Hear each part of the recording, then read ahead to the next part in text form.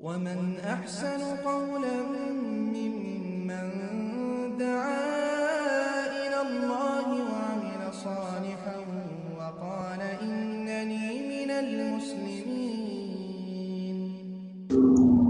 আসসালামু আলাইকুম রহমতুল্লাহি বারাকাতুহ একজন জানতে চেয়েছেন একজন মহিলা তার বাবা ভাইয়ের সামনে কি রকম পর্দা করবে বাপ ভাই দাদা আপন চাচা আপন মামা এরকম যারা আপন নানা, আপন দাদা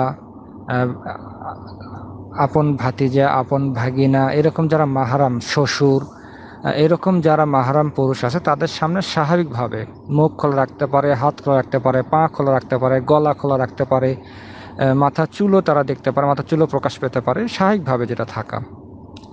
তার মানে এই নয় যে একেবারে পেট পিট বের করে বেঢঙ্গা মতো থাকবে, না সেভাবে থাকা যাবে না।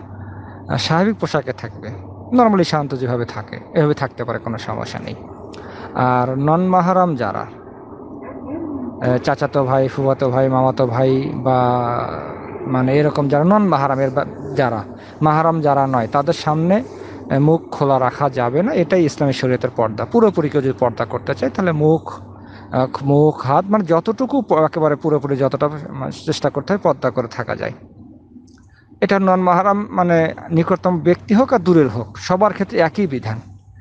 বরং দূরের চাইতে কাছের দ্বারাই বেশি মানে ক্ষতিগ্রস্ত হয় বা বেশি আক্রান্ত হয়। এটাই বাস্তবতা সমাজে দেখা যায় আমাদের।